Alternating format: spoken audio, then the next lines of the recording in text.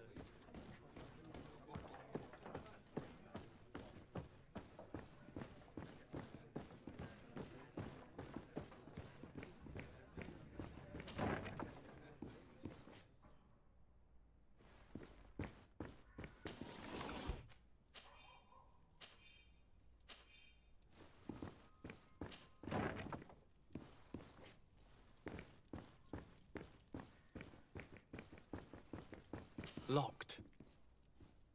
I don't have the key. Locked. I don't have the key.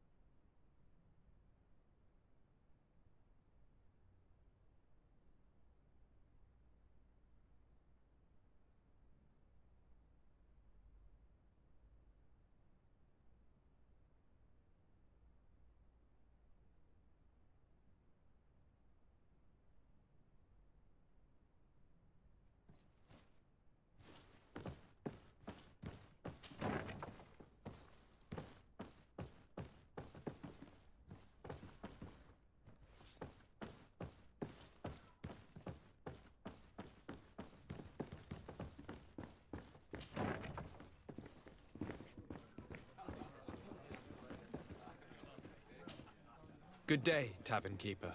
Good day to you. What is your pleasure?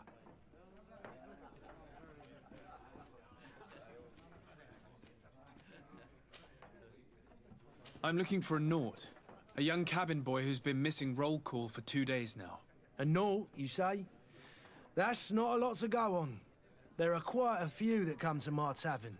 According to one of his fellows, he would have been taken right here. A kidnapping? In my establishment? You surely jest. At least I hope you do. I would have noticed. That doesn't hold water. Someone told me about one of your faithful clients. A big gambler, it would seem. I see. An able-bodied man. Passes his time lightening the pouches of sailors coming through. Where might I find him at this time? Here? He would never give away his chair at his table. Anything else?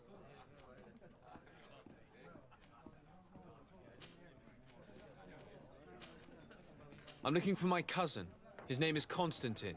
I believe he was intent on celebrating his departure last night. There was indeed a party here last night, but it ended badly. Whatever do you mean? A brawl broke out. My tavern was shattered, and no one's paid for the damages. I'm sorry. Amongst the rebel rousers, did there happen to be a young man? 20 years of age, hair down to his neck, light brown, blue eyes, quite the talker. I don't believe it. Of course he was there. He's the man that started the fight. I hope you've come to reimburse me. Don't count on me to help you if that's not the case. What kind of damage are we talking about exactly? A good half of my furniture was broken into firewood. I piled up the lot over there. Let me take a look. Perhaps it can be repaired.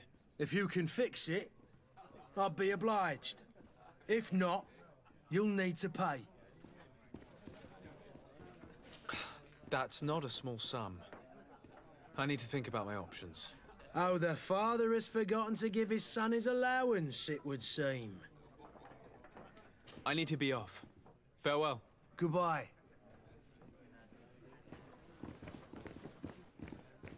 The furniture is in terrible condition. The fight must have been extremely violent. It looks as if it's fixable. I've seen worse. We'll need to build some metal dowels, but once done, we can make them like new. Locked.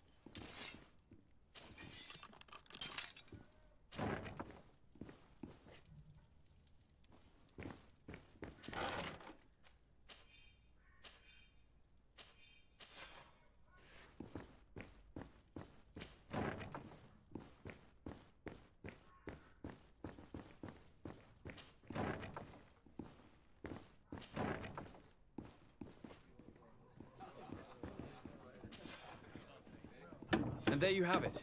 You'd never guess they were once broken.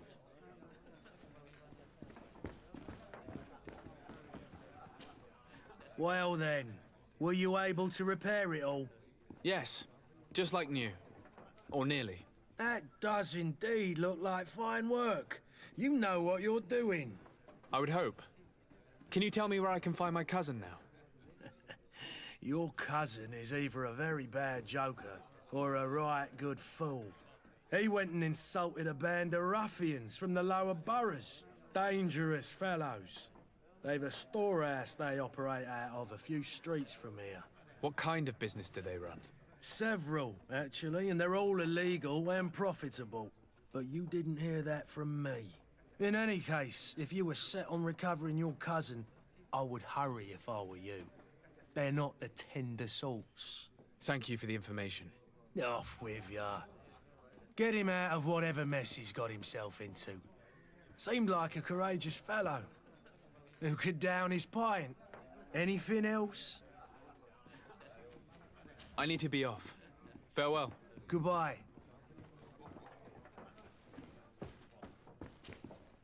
Who are you? I don't recognize you. Am I in your debt? No. Have no fear about that. It's for a different reason that I am here. I'm looking for a Naut that disappeared two days ago, after visiting this establishment. A young cabin boy. Two members of his crew accompanied him. Yes, that does ring a bell. I've played with the three of them. What can you tell me about the boy? How was he that night? He seemed rather nervous, as if he was worried about something. Didn't feel like playing, that I remember. And he must have been right to be nervous, if he's disappeared. Tell me what happened that evening. A rich merchant came in, with a band of strong arms. The kind of men you can round up for a few coins. if you catch my drift. They exchanged words with the cabin boy. The kid was defensive, not sitting pretty. And then they finally left. And after that? It just so happens that I did go out for a breather. I needed some fresh air. And I think I might well have seen those same men grab him. But that was none of my business. I wouldn't have thought that they were kidnapping him if that's what it was. They weren't particularly rough with him. Who was the rich merchant, do you think? A jilted lover? A moneylender? No, sir. You are in luck. It so happens that I know the man. It was Sir Fontaine, that merchant. Where can I find him? He has a house in the wealthy boroughs, just off the canal. A stone's throw from the Thélème embassy. Thank you. You've been immensely helpful. This man is completely owned by his love for the game. Do you think we can trust him? What would he gain from lying? I have no idea. But what would any wealthy merchant gain from holding a penniless child?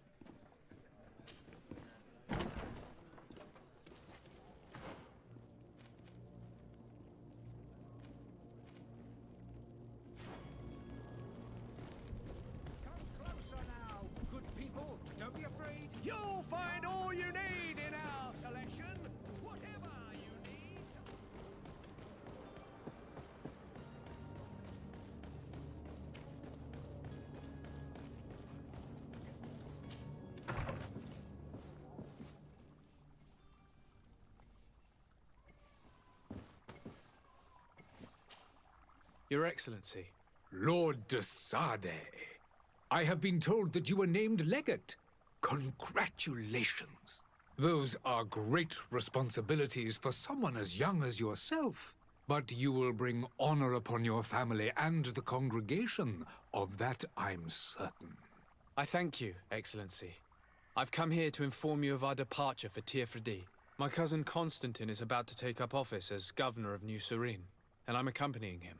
I had no idea you would be leaving so quickly. What a shame. I had thought. uh, Well, then, that is a pity. Have a pleasant voyage. A brilliant future awaits you. They say that it is a marvelous island.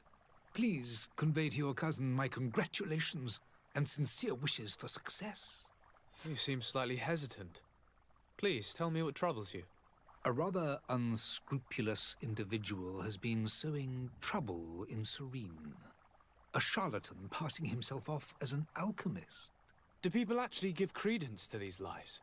Alas, yes. They snatch up his celebrated panacea, remedies worse than the ill, believe me. As you can well imagine, alchemists are our pride. This vulgar trickster casts dirt upon their reputation and our own at the same time. In any city of the Bridge Alliance, we would have arrested him. But here, we respect your laws. I shall see what I can do, but make no promises. My departure is imminent. I thank you, Excellency. And I am pleased to see you have taken so well to your new functions of diplomacy. The man operates in the city center. He is said to be clever and mean. Be careful. I need to be going. Goodbye, Excellency. Goodbye, Lord de Sardet.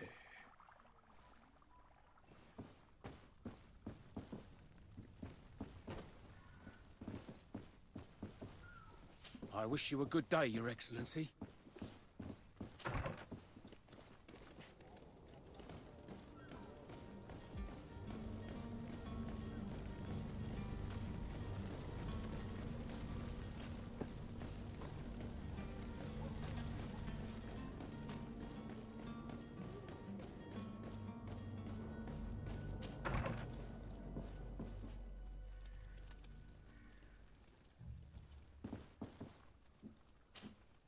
Good day, Excellency. Sir de Sardet, to what do I owe the pleasure? I have come to inform you that my cousin Constantine and I are departing for Teer Fradee on the hour. Ah, yes. I did indeed hear talk that you had both received callings of greater stature. Allow me to congratulate you. Were you not named legate of the congregation? You are correct, Excellency. I thank you. It is a station of great honor that I am sure you will fill with brio and panache. The Mother Cardinal Cornelia will be enchanted to work with you, and your cousin in the future. I only regret that your departure is so sudden. Really? To be entirely honest with you, I was hoping to solicit your help in a rather delicate matter. Tell me more about it. And perhaps I can take care of your problem before my departure. Very well. A small group of dangerous heretics has found refuge in Serene. We know that your uncle tolerates the presence of all pagans within the city walls. But these particular non-believers threaten the fragile harmony of this place. We would consider it a tremendous favor if you would arrest them and deliver them to our guard.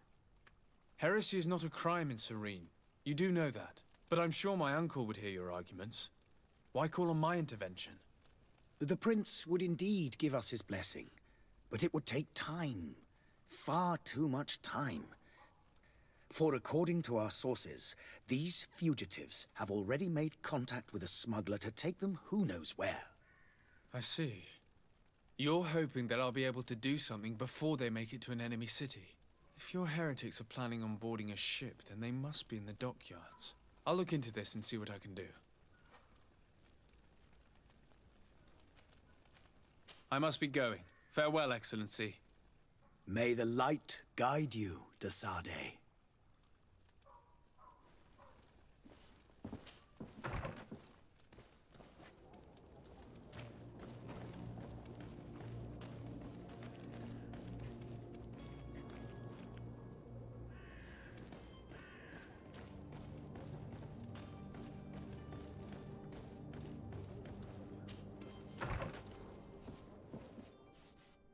Might I help you, sir?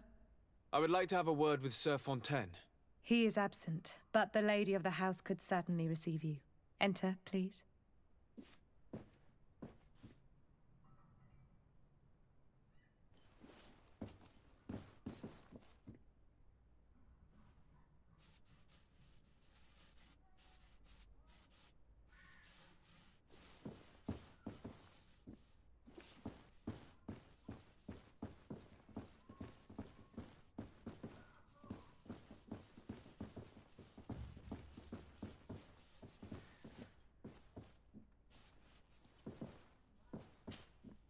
Oh, I know you.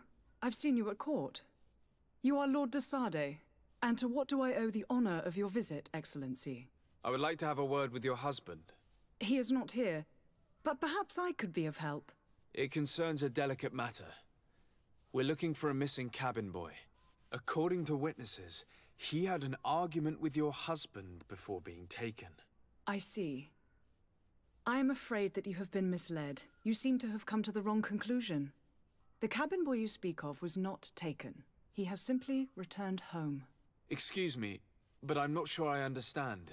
Don't you see, Your Excellency? We got our son back. I am very surprised.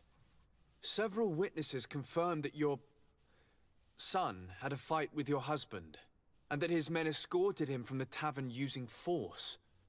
If he had joined your husband willingly, Witnesses? In a tavern? And you choose to believe these drunkards over a respectable family? these witnesses are all in agreement, and it's their testimonies that have led me to your doorstep.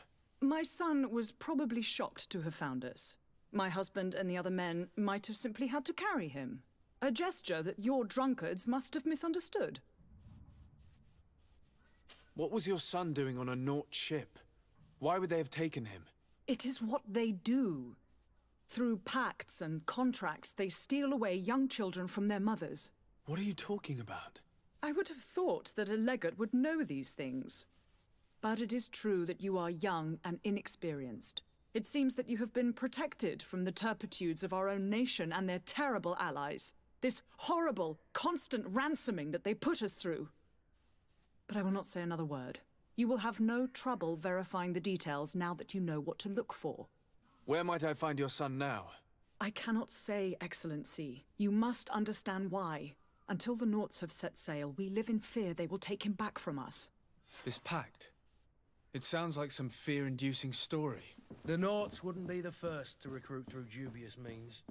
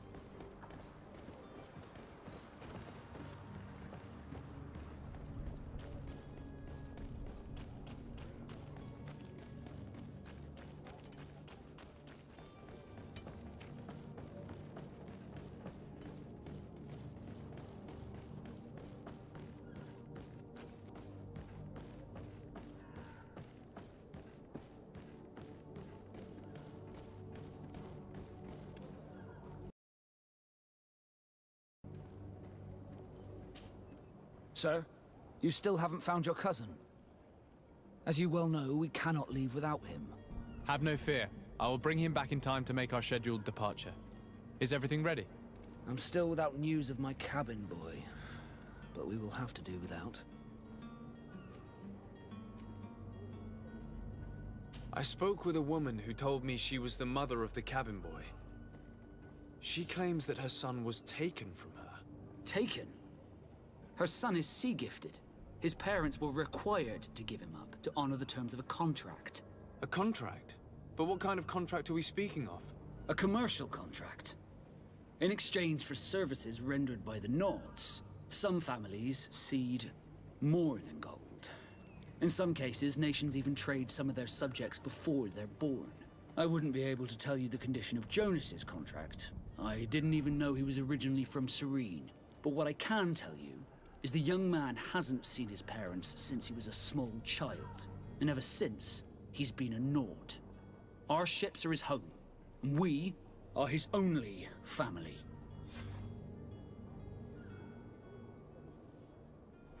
Have you seen anyone wandering about? Suspicious looking. Maybe clandestine passengers? Take a look around. There are far too many comings and goings to spot possible stowaways. As long as they don't try and get on my ship, I paid no attention to them. That said, we did catch ourselves a smuggler just a while ago. A smuggler? Maybe he could be of some use. Where could I find him? In the port jails, not far from the warehouses. May I ask you, why the sudden interest in smugglers and the odd stowaway? A couple of heretics are planning on leaving Serene. The ambassador of Thélème has entrusted me with the job of capturing them. Happy to see that you trust me enough to seek my counsel in the affair. Just so happens that I heard someone talking about the couple. The Cardinal's men are far from discreet. They were making quite some ruckus, asking to search our warehouses. We of course refused entry. Only the Nauts have access. I'm sorry, Your Excellency, but I'm certain your potential stowaways aren't far. But we won't allow you to make a search to grab them. Not officially, at least. What do you mean? That discretion and malice are often more useful than titles and words. Be back soon, Captain. You see anyone else who might be able to help us? Anyone who's not a Naut? Sir de Corsillion's a veritable well of scientific knowledge. He could tell us a little more.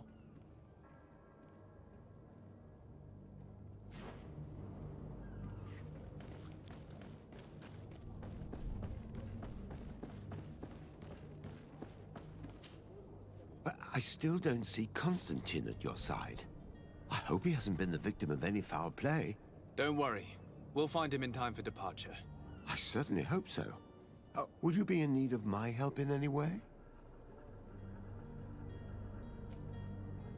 I've had a word with Lady Fontaine. You must know her. That rich family that lives near the docks.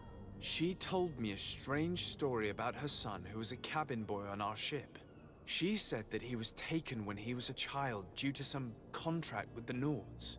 Who was a cabin boy? Do you mean he's no longer one? They took him back to bring him home. Well, that is very unpleasant news, de Sardet. We need to do all we can to bring the boy back to his ship. Since time immemorial, there's always been a certain price to pay for the services of the Nauts. Children born on their ships belong to them. It's the rule of the sea. But certain contracts are so important that they also require children to be offered in exchange. From time to time, the congregation has passed such accord, and certain noble families had to give their children up. Are you telling me that the Fontaines lost their son because of some agreement signed between my uncle and the Nauts? Um, no. That pact ended a long time ago. This cabin boy couldn't have been a part of that contract. But Sir Fontaine has made a fortune trading with the Alliance, uh, via ships. Do you mean he would have offered up his own son in exchange for wealth? Well, he probably did it before the birth of the child, and regretted it afterwards.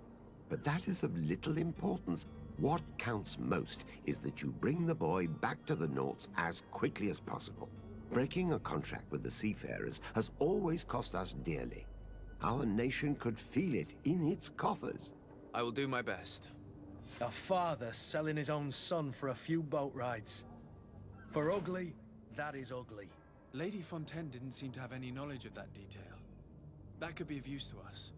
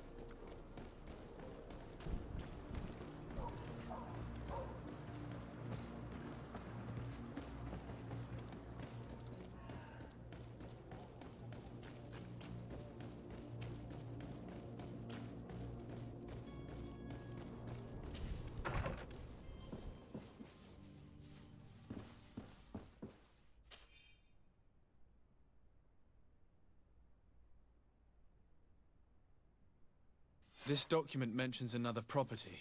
A warehouse. That would be a great place to hide. Shall we take a peek?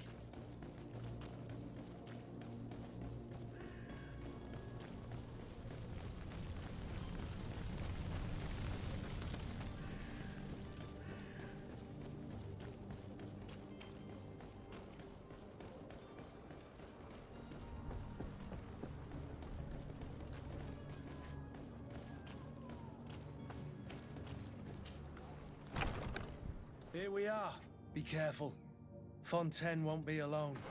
He'll have his henchmen with him. Let's just try to remain discreet.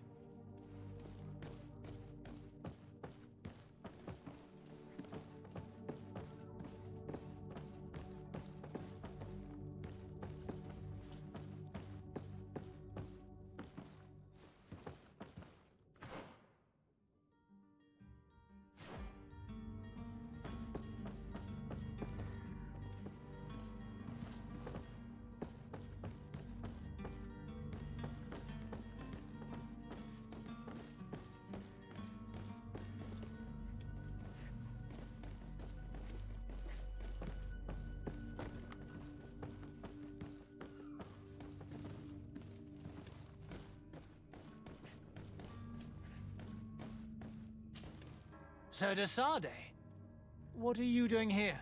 I've come looking for your son. The Nauts are worried about his disappearance. Uh, those Nauts took him from us, but now we've got him back, and he'll be staying with us. Would you be so kind as to hear what I have to say, Sir Fontaine?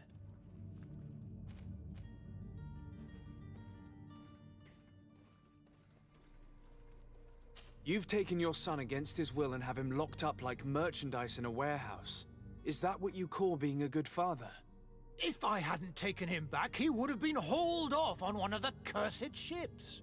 If that's what he wants, then why would you want to stop him? For his mother. She misses him so. But in the end, you may be right. My boy has changed. He hasn't spoken a word to me since we've been in this precarious predicament. Very well. Take the key and take him away. Cursed be the day I delivered my son unto the Nauts. All children leave the nest one day or another, sir. Farewell.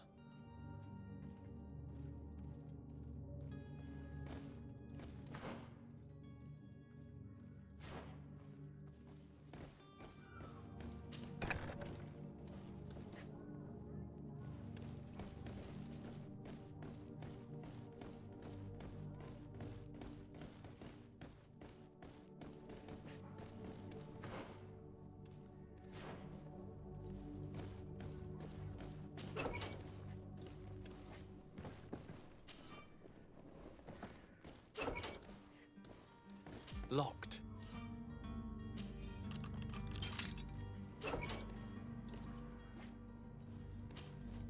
Who are you? My name is de Sardet. I am legate of the congregation. Your captain has sent me to find you. And were you able to convince my... my father to allow me to go free? Yes. Even if I had to bend his arm a little. That doesn't surprise me. He seemed to have no intention of changing his mind. I feel more sorry for my mother. She seems so sweet and happy to see me. You don't seem to be all that close to your parents. I hadn't seen them since I was five years old. I barely remember them. They find me, capture me, and lock me up in this warehouse. Hard to grow close after all that. My family is the Nauts.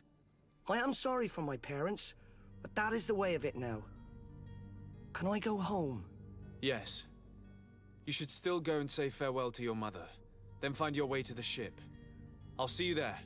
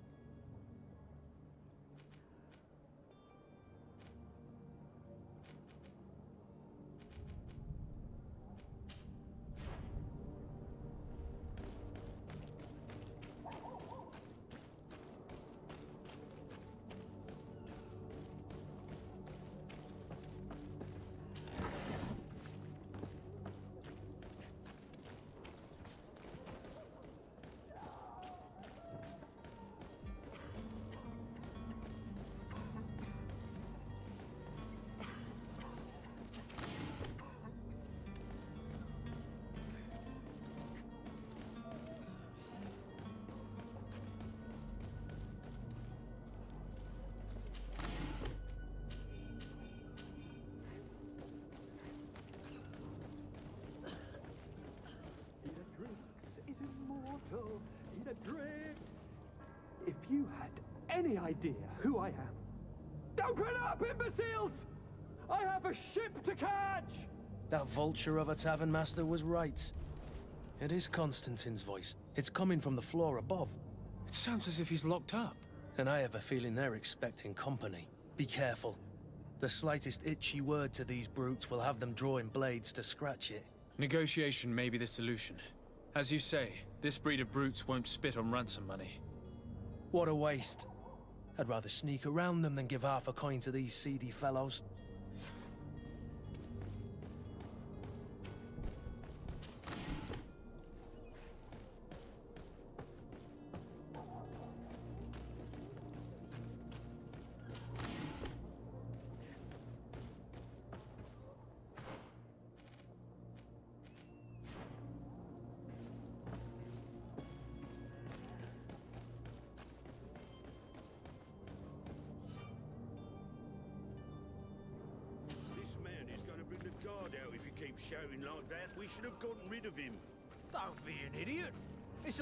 He's a noble, a rich man.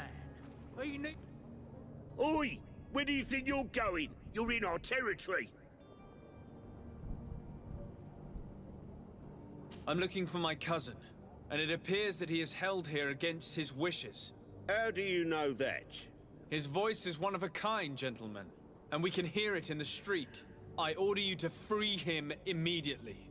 I order. I order, is that right? You're not cousins for nothing, you and that other drunkard.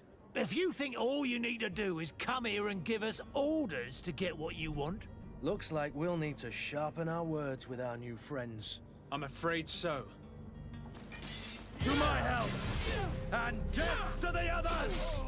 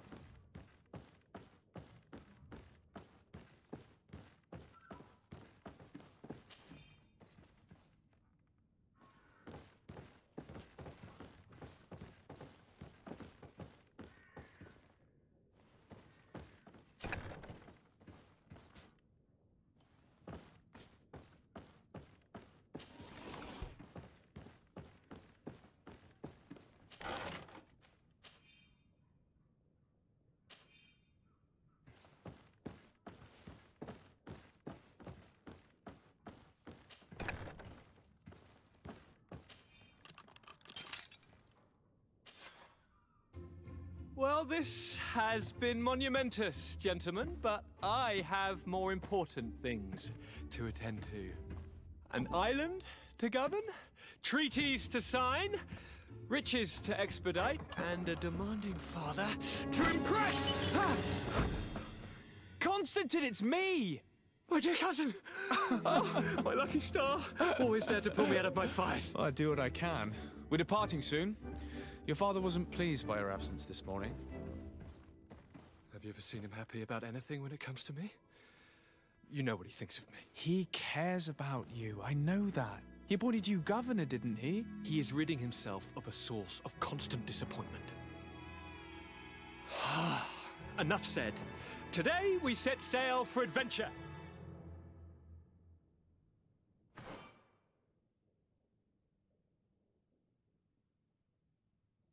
If you only knew how these river scum treated me. Do me a courtesy, good cousin. Now that we stand boldly alongside the brave Kurt, let's give them their money's worth. There's no one left to pay, Your Highness.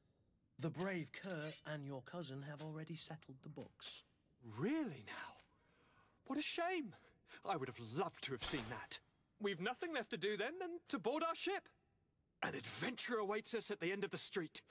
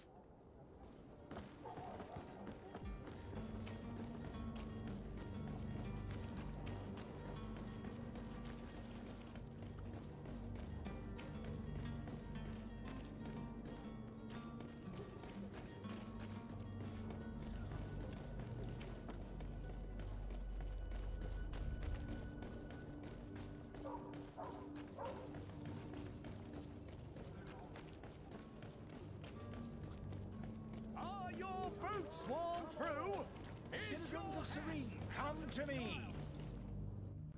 Citizens, I present to you Panacea, the absolute cure of everything. Toothache, stomach ailment, and even an open wound.